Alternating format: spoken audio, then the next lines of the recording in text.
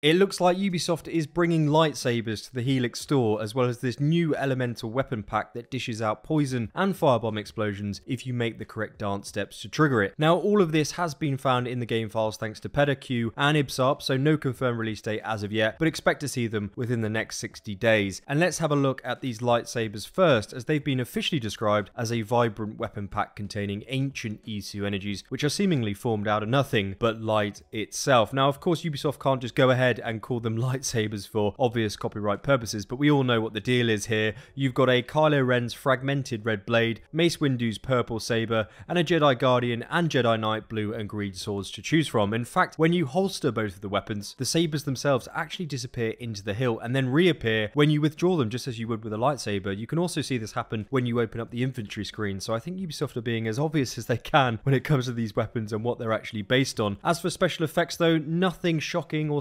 when it comes to combat. They act as a normal one-handed sword, but when it comes to their stats, they do have an interesting one-shot mechanic at play here. Let's take a look at the red vibrant lightsaber as an example. It said that the special attacks produced by this weapon have a chance to instantly kill low health enemies, with none of these swords triggering on elites or bosses. So the enemy has to have their health below the 50% threshold, and when that happens, you have a 45% chance of one-shotting it if you use the special attack move with this equipped. Now the same mechanics apply to all of of these other lightsabers, but are subtly different. So I'll pop their individual stat pages on the screen now if you're interested. But I don't want to waste the next minute or so of your time going through pretty much the same stats of each one. But that said, if you have found this first look breakdown informative so far, please do leave a very swift like down below. It genuinely helps me out on YouTube, so thanks very much. And let's break down these fantastical elemental weapons now. We have four here, two one-handed short swords and two larger great swords with a little bit more variety on the effects each one produces. The Vorpal Cutlass is described as unveiling its complex mechanical mechanisms when it's unsheathed or equipped, which as you can see here is quite cool and a very subtle animation if you like this kind of aesthetic. As for its stats though, a perfect attack causes a small poison cloud explosion to appear when successfully landed on the enemy. And if you weren't aware what a perfect attack is, that's when you press your attack button while mid-swing to then do more damage. You've just got to get it bang on for it to actually activate. Now the next short sword is called the Furling Blade, which is different in aesthetic design to the Vorpal Cutlass but still follows the same concept, that being a subtle motion animation when equipping the sword for combat, as well as a perfect attack causing an explosion, but instead of poison, you'll be dealing fire damage. Now, if you do like this thematic style of weapons, then it may be worth a consideration as they are clearly intended to be used as dual-wielding one-handed swords, resulting in fire and poison explosions during combat. But when it comes to the amalgam weapon though, this great sword offers double damage when you reach 8 stacks. The catch being, you need to get hit by the enemy 4 times, and every every time you hit an enemy, that also increases the stack gain by one. In short, this is an absolutely terrible perk, but the design and movement animations on the weapon do look quite cool, with Ubisoft describing it as being too large. So if you like running around with a big weapon,